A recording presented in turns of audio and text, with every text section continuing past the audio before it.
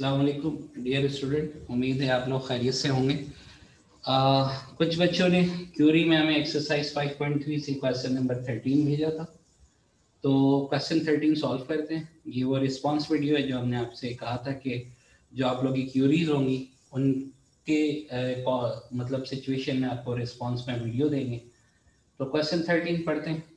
For what values of p does the polynomial? Polynomial given 2p plus 1 x square plus px plus 2p square have a factor in first part the factor is which is a linear factor x minus a and second factor x plus 2 तो इस part के response में आपने p की उन values को identify करना है जो आपको इन फैक्टर की यूज़ से p की वैल्यू प्रोवाइड करेंगे फिर state the value of p for which the polynomial is exactly divisible by x plus 2 but not by x minus 1 हम जो p की वैल्यूज़ निकालेंगे, उसमें एक p की वैल्यू कॉमन होगी for both factor but p की दो वैल्यू ऐसी होगी, जो x प्लस टू के लिए एक वैल्यू कॉमन नहीं होगी और दूसरी x माइनस वन के लिए कॉमन नहीं होगी.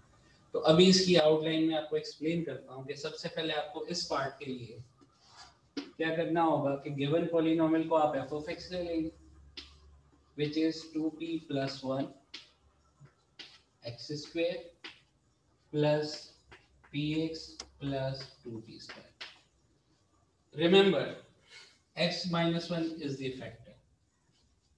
It means you will have first equation by this f of 1 is equal to 0 by applying factor theorem आपने इससे भी p की वैल्यू निकालनी है। आप देख सकते हैं कि जैसे आप x की वैल्यू पुट करेंगे, आपको एक क्वाड्रेटिक इक्वेशन मिलेगा p में बिकॉज़ आप 2p स्क्वायर की टर्म देख सकते हैं। और सेकंड कंडीशन को जब आप यूज़ करेंगे सेकंड फैक्टर को तो you will have this situation f of minus two is equal to zero तो आपको सेकंड इक्वेशन मिलेगी। इन दोनों इक्वेशन से आप p की वैल्यूज़ फाइंड करेंगे, और जब आप वो p की वैल्यू फाइंड कर लेंगे तो इस पार्ट का हम आसानी से रिस्पांस ढूंढ सकते हैं। डियर स्टूडेंट्स बेसिकली वही क्वेश्चन जो है हम इसको कंटिन्यू कर रहे हैं। So we have the polynomial of x and uh, it is given that it is given it is given that x minus 1 and x plus 2 are the factors are the factors of f of x. So I'm just solving uh, the given polynomial with both factors. First one is basically x minus 1 is the a, a that is given, the factor of f of x. Similarly, x plus 2 is also a factor of f of f of x. So because it's a factor, then by remainder theorem, uh, sorry, factor theorem, we can say f of 1 will be 0 and this one f of minus 2 will be 0. So when we solve by using f of 1, overall if you put value of x to the given polynomial, this will be 2 plus 1, 2p plus 1 and 1 square plus p multiplied by 1 plus 2p square. First I'm solving this one, second we will solve this. So this is overall will be say suppose 2p plus 1 plus p plus 2p square. Sorry, it is 0. 2p square is 0. If you see, we have a quadratic equation 2p square plus 3p plus 1 which is 0 and uh, if you further factorize the given uh, quadratic equation this is 2p square plus 2p plus p plus 1 is 0 you know uh, very well how to deal with the quadratic equation. So i'm not further basically discussing about how to factorize so take common say suppose 2p is common p plus 1 plus 1 common p plus 1 is 0 then 2p plus 1 multiplied by p plus 1 is 0. So product of two term is zero. It's only possible if both are either this one or this one is zero or both are zero. So means 2p plus 1 will be 0 or p plus 1 will be 0. It is only possible when we have p is equal to minus 1 by 2 or p is equal to minus 1. So if x minus 1 is a factor of this polynomial, then p should be equal to minus 1 by 2 or minus 1. Okay, uh, as we have also given that x plus 2 is a factor of the given polynomial, then again by factor theorem, it should be f of minus 2 should be 0. So by putting the uh, values to the given polynomial, this will be 2p plus 1 and f minus 2 whole square plus p multiplied by minus 2 plus 2p square. Of course, it should be 0. Minus 2 whole square is 4, positive 4, positive 4, multiply uh, with the given bracket. This will be 4 to the 4 to the 8p. 8p plus 4 minus 2p plus 2p square is equal to 0 Again, if you if we uh, rearrange the equation, this will be 2p square. 8p minus 2p is plus 6p plus 4 is 0.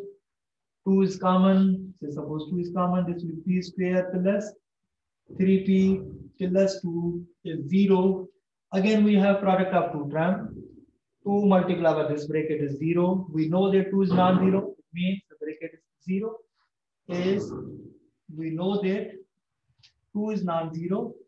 This implies p square plus 3p plus 2 is 0. Again, we have quadratic equation and we can solve by using factorize our uh, quadratic formula. So this will be p square plus 2p plus p plus 2 is 0.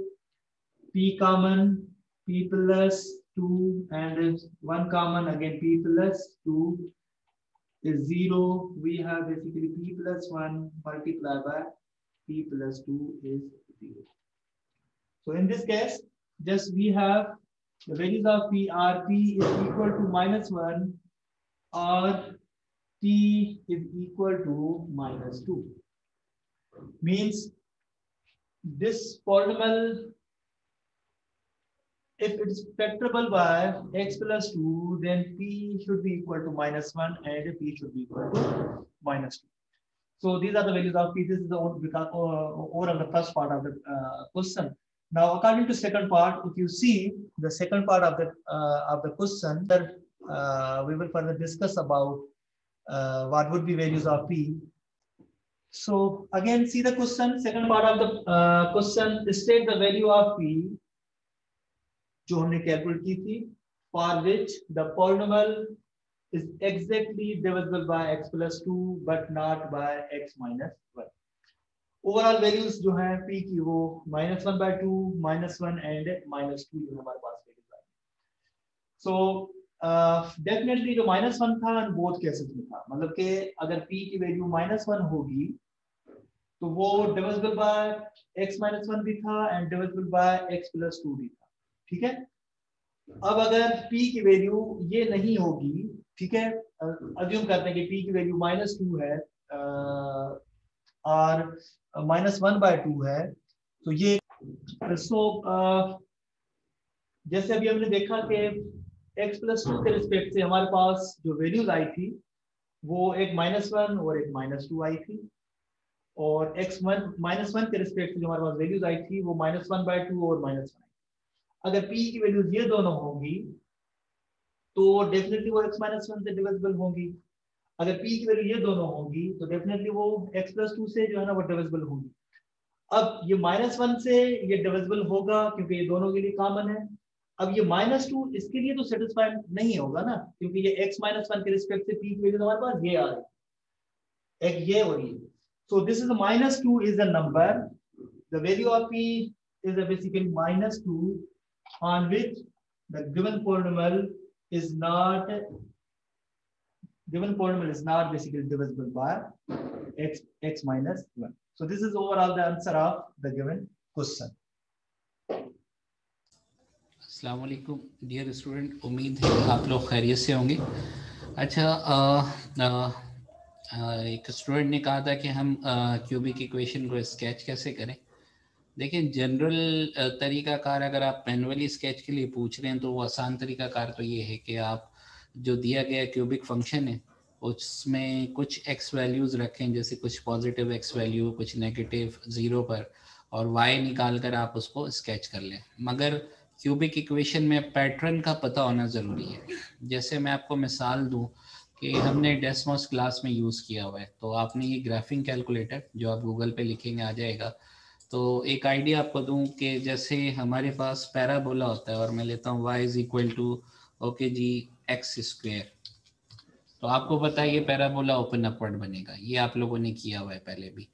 तो उसमें अच्छा जी अगर ये आ, हम कहते हैं कि जी इसकी कॉन्केविटी यानी कॉन्केव अप है या कॉन्केव डाउन है ये डिपेंड करती है कि जी what is the coefficient of x square अगर मैं ये माइनस लगा दूँ तो आप देख सकते हैं ये कॉन्केव डाउन हो गया जो अभी मैंने एक specific example Lee y is equal to x square की और y is equal to minus x square की।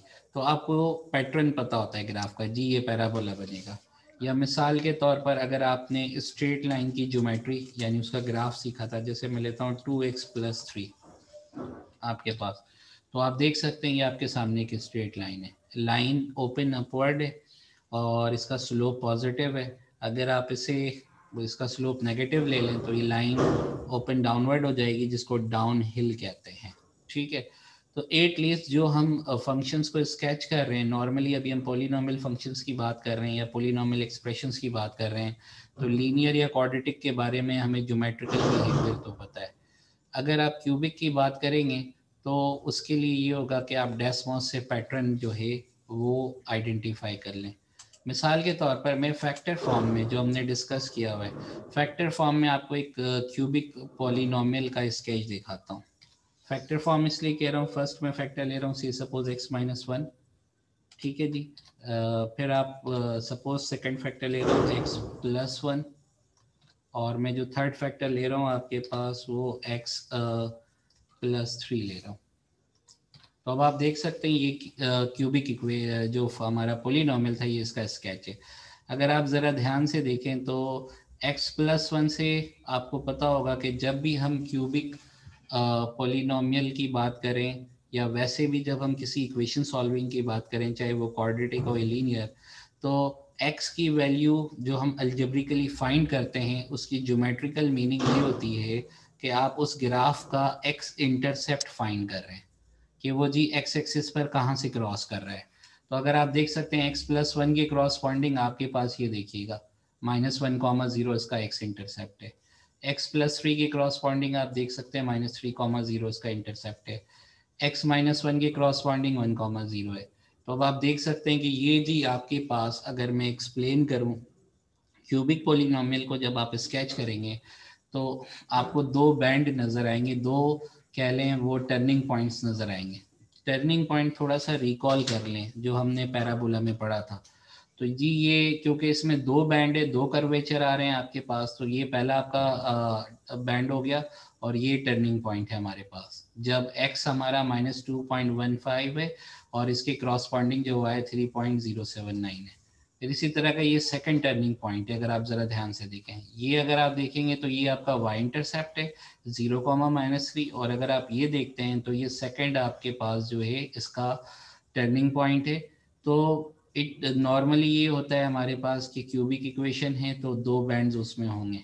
अब आप थोड़ा सा देख लें कि हमने y is equal to x cube के ग्राफ को अगर मैं कहता हूँ कि देखना हो तो आप y is equal to x cube तो इसमें भी देख सकते हैं। कि अच्छा जी इसका एक ही रियल रूट है। रियल रूट इमेजनरी रूट पे हम क्वाड्रेटिक फॉर्म में बात कर चुके हैं। ठीक है जी और नोट करें इधर देखें इसके दो बैंड है। मगर ये जो दो बैंड है आपके पास वो आपके पास आ, इस सेंस में डिफाइन हो रही कि अच्छा जी ये क्यूबिक इक्वेशन है। ठीक है पैराबोला होता है तो एक बैंड होता है। तो स्केचिंग के लिए मैं जनरल आइडिया दूँगा कि आपको अगर आप क्यूबिक पोलिनोमियल स्केच कर रहे हैं तो डेस्मोस से उसका पैटर्न या बिहेवियर ज़रूर देख लें। मैनुअली आप स्केच कर सकते हैं और उसके लिए जनरलाइज तरीका है कि जो आपने सॉल्विंग क्यूबिक इक्वेशन वाला जो काम पड़ा हुआ है, उससे फैक्टर्स निकालें। अगर आप उन्हीं क्वेश्चन को प्रैक्टिस कर रहे हैं तो वो जो एक्स वैल्यूज़ आती हैं, वो बेसिकली एक्स है इंटरसेप्ट का एफ़ सीसा होता है। तो आप उससे स्केच कर सकते हैं और पैटर्न देखकर ग्राफ को टर्न कहाँ से देना है कर्वेचर फॉर्म में कनेक्ट करना है स्मूथ कर्व होगा स्ट्रेट लाइन का इस्तेमाल नहीं करना है इस आइडिया से आप आराम से मैनुअली स्केच कर सकते हैं। तो उम्मीद है कि आप लोगों को ये आइडिया मिल गया होगा और हम आ, समझते हैं कि आप आसानी से ये प्रैक्टिस कर लेंगे। अपना ख्याल रखिएगा जी अल्लाह हाफिज़।